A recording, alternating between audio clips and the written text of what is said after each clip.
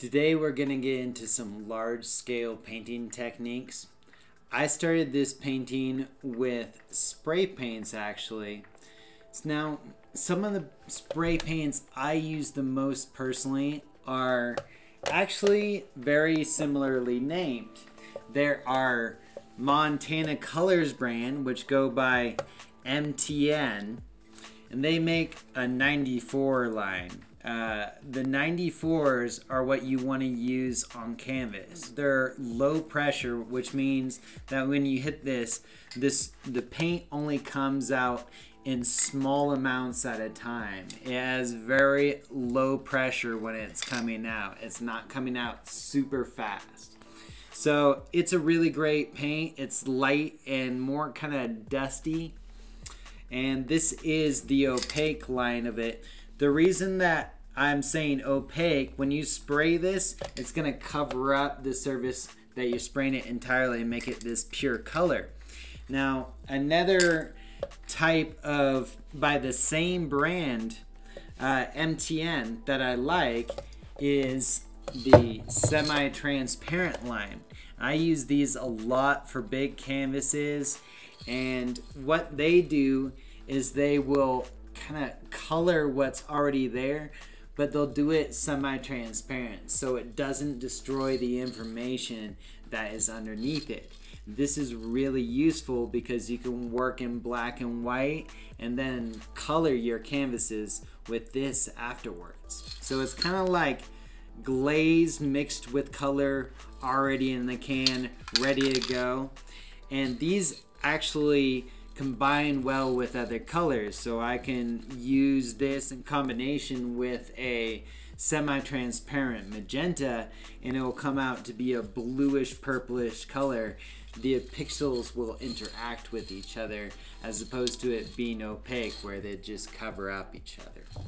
Another brand that I use that also carries semi-transparent colors are Montana Gold they are one of the most available spray paints that you can find in art stores, and they are pretty good. They're not bad at all. They're also a pretty low pressure spray paint, so they're good for using on canvases, and they're gonna last over time. Now, there is also if you're doing walls, you can do a high pressure spray paint. For example, something like this. This has a massive fan tip on it and a ton of paint comes out of it. So if I wanted to blast a giant wall, I'd be using a high pressure spray paint. Now one last thing about spray paints. On the end of the spray paint can, they all come with a tip, right? And these tips are interchangeable. So you can take this off and use another type of tip with it. There are all sorts of different tips in a similar way that there are all sorts of different brushes. Each different tip creates a different shape for the blast that you make. So I would really try using say fat caps, skinny caps, New York fats, Astros, uh, you know, flat caps, all kinds of different stuff when you're buying a bunch of spray paints, get yourself a bag of assorted caps and try them all out. I start this canvas with the warms and then I transition into the cools as I get to the middle. I'm using fat caps with wide blasts that get slow as they go back and tight as they go in. And I'm also using soft caps to adjust and augment those shapes. Now I'm doing what's called the cutback with a flat wash brush.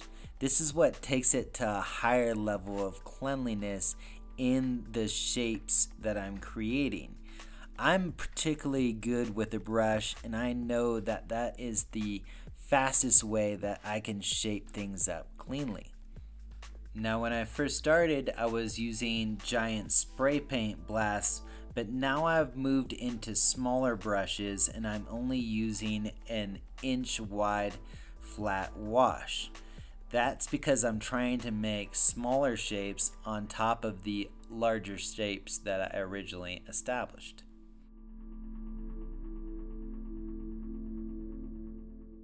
I'm going to use a light yellow to cut back that bottom shape and make it look nicer. A lot of the time when I'm just jamming out with a bunch of spray paints, I'm not developing any expectations. But once I start getting onto something that I like, I find myself cleaning it up more with brushes. That's because I've been using brushes for a lot longer and I actually have better brush technique than I do spray paint can control. But when I'm using brushes, I tend to start with the biggest brushes first. So I'm starting out with an 8 to 4 inch brush initially. And then I work my way down to a smaller flat brush or maybe even using a round bristle. These are only a few inches wide. And eventually I'm working my way down to the really small brushes when I'm working out my details. If I was to start painting a painting with one of these, it would take forever if it was huge. So you want to start with your bigger brushes first and work your way to your smaller brushes at the end of the process.